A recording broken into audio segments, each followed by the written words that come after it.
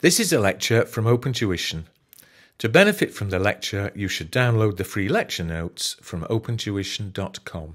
All right, this lecture is the first of a series of lectures um, going through paper F2. And so in a minute, I'll start talking about through chapter one. Uh, because it's the first lecture, though, do make sure that you have downloaded the free lecture notes because they are lecture notes. It's those notes I'm using as a basis for the lectures.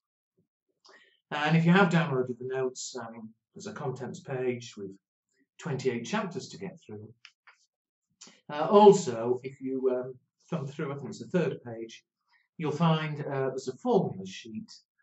Uh, that's Those are the formulae you get given in the exam. Uh, and I'll explain what they are as and when we come to them in the, in the relevant chapters. Uh, you'll also find two pages of what we call discount tables. Uh, one's headed up present value table, the other's headed up annuity table. Uh, some of you may have seen those before at school or at university.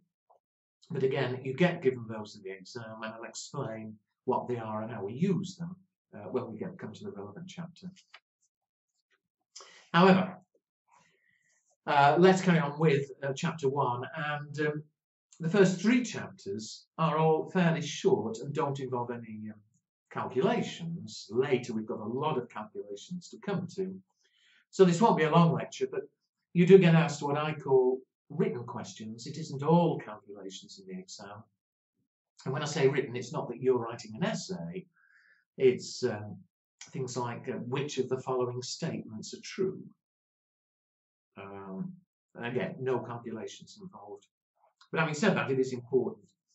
Uh, and chapter one, accounting for management, is very much an introductory uh, chapter, explaining basically what the management accountant's doing. And the job of the management accountant is to help management run the business, to help them improve the business. Management, for instance, have to make lots of decisions. They have to decide uh, what selling price to charge for whatever we're producing. Well, it's up to the management accountant to give them the information they need to help them make those decisions. Uh, paragraph 2 mentions data and information. Now, I said management need information. Uh, for example, if we're a country which uh, sells in various countries, they might want to know what percentage of our sales are in the UK, what percentage of our sales are in France, and so on. Well, that's information they need. Now, they don't want a long list of each individual sale, but clearly each individual sale will be recorded somewhere. That's data. But I say again, it's no use giving management a list of, you know, 10,000 sales and expecting them to sort it all out. It's the management accountant's job to turn those individual items, the data, into information, into reports, charts, whatever. So uh, that's the distinction between the two. In my little example, a record of each individual sale is the data. Turning that into a report or a graph or a chart, simply showing in total what we were selling to the UK, to France, etc. That's information. Now, paragraph three, what makes good information? You'll see there's what we call a mnemonic, the bold letters, accurate, which I won't put the writing down here, but just running down them. Good information obviously must be accurate, must be correct. It must be complete. We don't give them half a story, we need all the relevant information. It must be cost effective. What I mean there is it is going to cost money to prepare these reports whether it's computer time, whether it's management accountant's time, whatever. And it's worth spending the money if it helps them make better decisions which earn them more money. But there's clearly a limit. We want the cost of doing it to be less than the benefits we get. Um, obviously, it needs to be understandable. Management aren't all accountants. We need to give them information the way they understand. It must be relevant to the decision they're making. Accessible, you know, how, as I've written there, um, are we going to print out the reports? Are we going to send them electronically? That's all been there. Uh, timely, Uh, reports need to be up to date and they need to be given them on time. If they're making a big decision next week and they need some information, obviously we've got to give them the, the relevant reports before they make the decision. Um, must be easy to use. Uh, over the page, paragraph 4 says the main managerial processes. Uh, this really is effectively a summary of the syllabus we've got to go through, that the various jobs involved for the management accountant. Uh, the first one there is costing, which is terribly important, that if we're a company producing goods, suppose we make desks, then we need to work out how much each desk is costing to make. You know, if only for fixing a selling price, if a desk's costing $20 to make, obviously we want to uh, sell it at a price higher than 20. And so uh, uh, uh, a desperately important area and a big bit of the syllabus, as we go through later chapters, you'll see. There are various different approaches, methods we can use for costing uh, depends very much on what it is we're producing or what service we're giving. Uh, the next one, planning.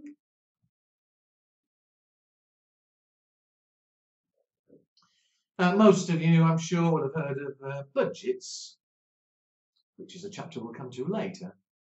But the budgets are plans. We need to make plans for next year. How many um, uh, desks, if we're producing desks, how many desks do we think we can sell next year? Therefore, let's plan how many desks we're going to produce. Let's plan uh, how much wood we're going to need, how much labour we're going to need. Uh, again, it's the job of the management accountant. Now, the third one, decision making.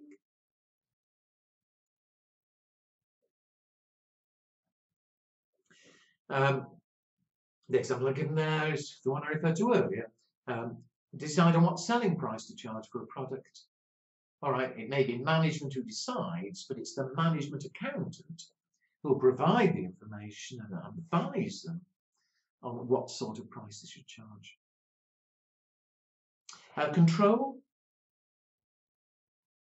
Another big area we'll come to later, something called variances, uh, where There, check month, it's not a rule, but very commonly check month by month how things are going. You know, I may have budgeted on spending $10,000 uh, a month on wages. Well, let's check each month. Did we spend 10,000? Maybe we spent more, and if we spent more than we were supposed to, then of course we need to investigate and find out why did we spend too much. Uh, is there a problem? Is there something we can sort out? Uh, and finally, the last bit of the syllabus that we're going to go through, performance uh, evaluation.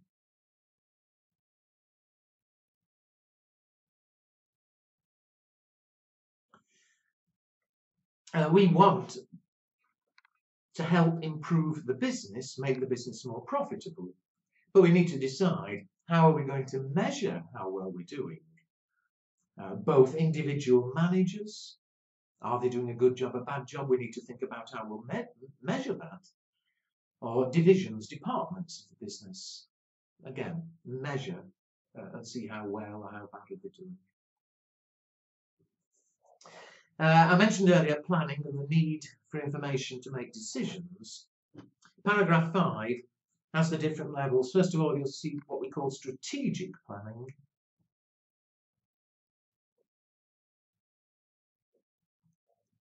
Uh, and that's long-term planning. I mean, it's silly I'm just reading word by word to you, but those are as good as examples of any. Um, we're thinking of opening new offices, or we're thinking of launching new products. Well, these are long-term decisions, long-term plans uh, typically five to ten years. Once we've done that, once we've decided, oh, we're going to open a new office in a certain uh, city or we're going to launch this new product, then we can start making more detailed short-term plans. And that's tactical planning.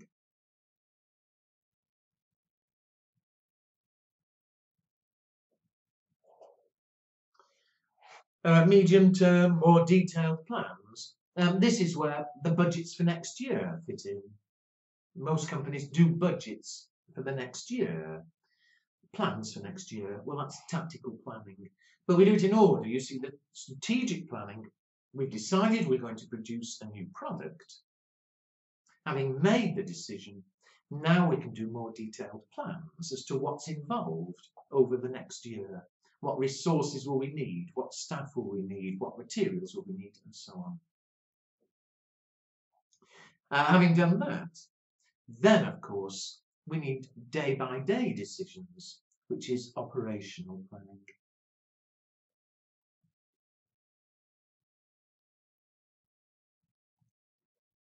Um, we've done our budgets for next year, so we know how many um, units we're planning to produce in January and February and so on. But day by day, we've got to make decisions like which supplier to choose for a purchase or how many hours of work do we need tomorrow. These are very short-term, day-by-day decisions. And the managers at each of those levels need information to help them do that planning. At the strategic level, they're going to need a lot of external information. You know, if you're thinking of opening a new office somewhere, a new factory, uh, we need to know what other similar businesses are operating there. What's the competition going to be like? So we need a lot of external information outside of the company. Whereas at the operational level, the day by day running of the business that's very much internal information. Information generated within the business, how many we're producing, how many hours of labour do we need, and so on. All right, finally for this chapter, I'm sorry I'm going on a bit, it gets more fun later when we come to the numbers chapters. Uh, but finally, you'll see a comparison with management, management accounting with financial accounting. And there's a table there which you can, if I can spell, you can fill in with me. Uh, because they are two separate jobs, even though in some businesses the same person will do both, there are two separate areas here. Financial accounting is producing what we call the statutory accounts, producing a balance sheet and a profit statement because the law requires it. Um, financial accounting, it's required by law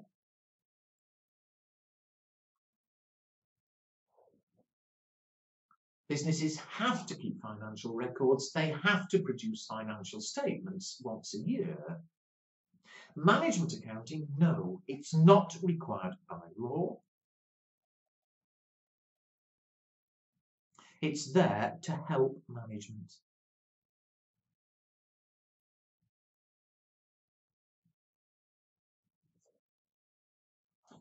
Uh, what else? Um, the timing.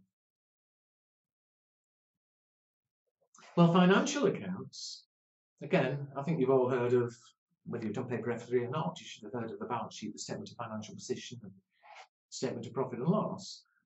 Um, not only is it required by law, but it has to be at least once a year.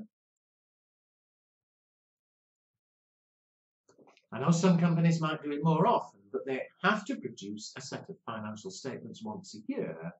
Management, no laws involved here, they do it whenever they want. And in fact, they, usually do profit statements monthly.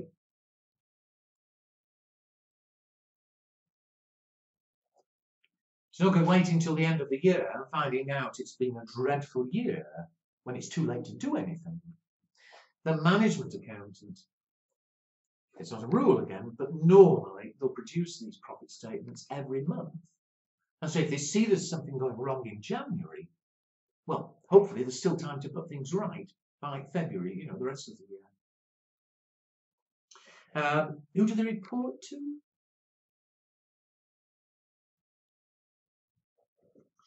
Well, financial accounts, although lots of people might use the accounts, the tax people will look at them, Uh, the bank might look at them and so on.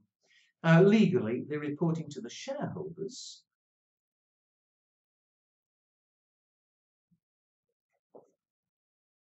And it's they're reporting externally.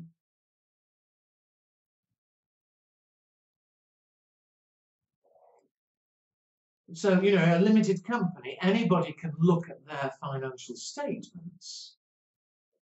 Shareholders get sent them. Uh, again, the tax people, lots of people can look at them. They're reporting outside the company. Uh, as far as um, management accounts are concerned, they're reporting only to management. It's internal. Nobody else can look at um, these monthly profit statements. It's purely internal, it's purely for management. Uh, the format, the layout of the statements. Well, again, financial accounts, it's required by law.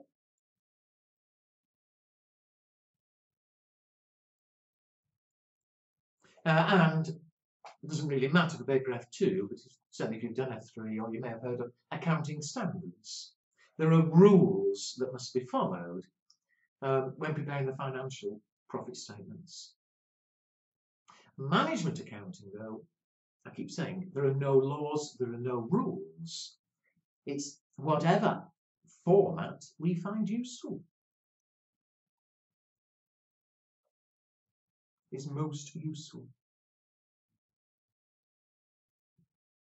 And again, you'll have to be patient till we come to the numbers chapters, but you will find in a later chapter um, that management accounts, their profit statements often do look a little bit different than the financial accounting ones. But there we are. I mean, just a summary. But so important, they are two separate areas. In paragraph 2, apart from what I've just said, we're not the slightest bit interested in financial accounts. I don't care what the law says, uh, what accounting standards say. For management accounting, we do whatever's most useful to help management improve the business. All right, so I hope that made sense. And should be a nice, easy chapter, but go back and uh, do read it because although you won't get many questions on this chapter in the exam, certainly one or two, and a lot of it is just definitions, data, information, the levels of planning and so on. Jolly good.